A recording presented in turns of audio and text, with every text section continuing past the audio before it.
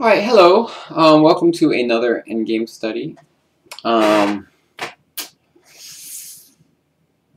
what is going on here? So I just set it up. It looks like white is... I can't figure out who's going to win, but probably...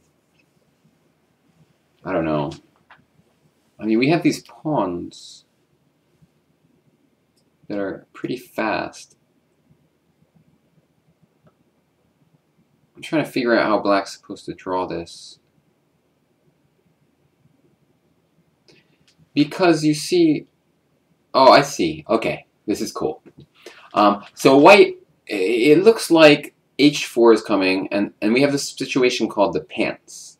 And by the way, that's a term coined by Dvoretsky, and I'm getting this puzzle from Mark Dvoretsky's, one of his, his software. So Dvoretsky is basically the best in chess training, all that stuff. You should buy every one of his books, even if you're not going to study them, just to have them. They're just so wonderful.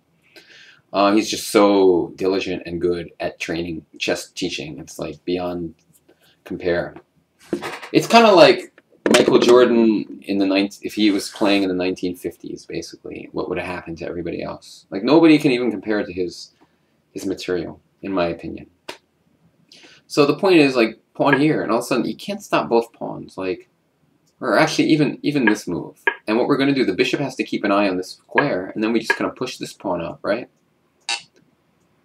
Uh, and the king's in zugzwang. King, king can't go anywhere. And then after take, d7, and we win.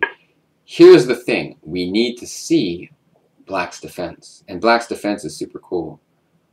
Um, black's defense is after d6, b3.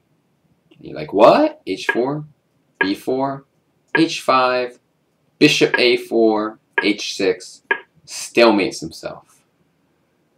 Super cool, right? So that much I see. Probably that means the answer is to go b3 ourselves. Um, I, I imagine, and just end any discussion of that stalemate trick. So that looks right. I'm going to say b3 is the answer.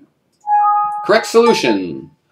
Yeah, uh, that's kind of cool, right? This is like you have to see your opponent's fancy ideas. This is like a training where you got to see your opponent's resources, and it's very easy to just get cocky and start pushing the pawns. But in reality, um, that would only draw because that, that cool little stalemate trick.